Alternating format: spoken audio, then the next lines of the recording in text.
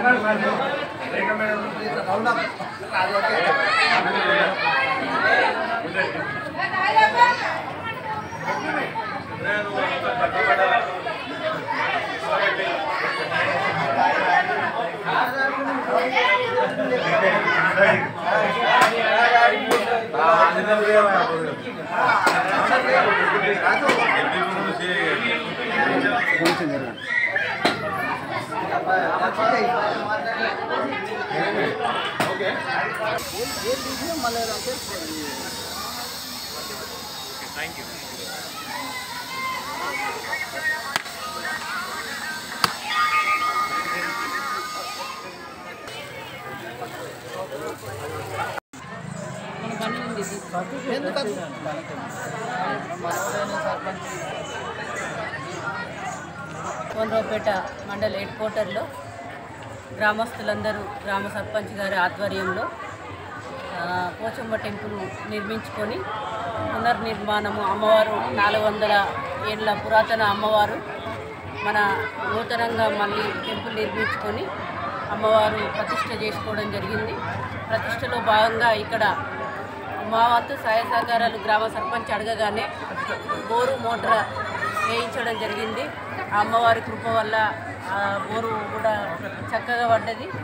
గ్రామస్తులందరూ కూడా ఆయుర ఆరోగ్యాలతో అష్ట ఐశ్వర్యాలతో ఉండాలని ఆ అమ్మవారిని కోరుకున్న. ఈ కార్యక్రమంలో నాతో పాటు గౌరవ ఎంపీపీ గారు స్థానిక సర్పంచ్ గారు అలాగే సిఐ గారు ఈ గ్రామం నుండి కరీంనగర్లో చేస్తున్న ఈ గ్రామస్తుడైన ఇవాళ ఎందుకంటే గ్రామంలో ప్రతిష్ట జరిగిన అమ్మవారి ప్రతిష్టకు ఎక్కడ ఏ ఉద్యోగంలో ఉన్నా ఎక్కడున్నా కూడా గ్రామంలో అమ్మవారు ప్రతిష్ట అనగానే ఎవరికైనా కూడా తన సొంత గ్రామం మీద మమకారం ఉంది సిఐ గారు కూడా రావడం జరిగింది ఇక్కడ ఈ గ్రామస్తుడైన.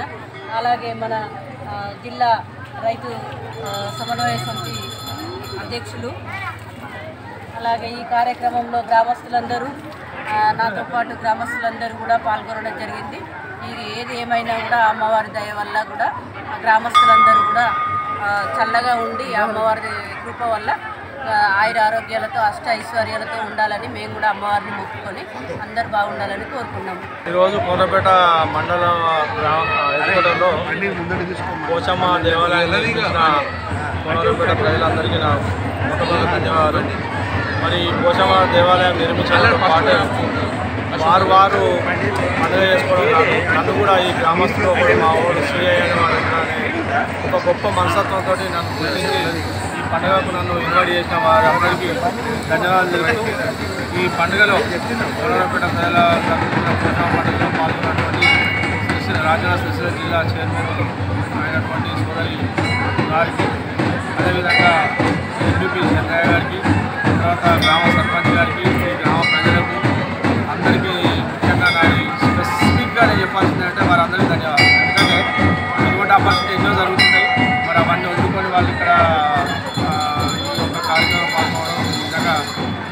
నేను మర్చిపోని భద్ర స్మృతులు నాకు ఎన్నో షెడ్యూల్ బిజీలు ఉన్నా కానీ ఇటువంటి ఆనందం అయితే అక్కడ ఉంటుంది నా గ్రామ ప్రజలు కానీ మరి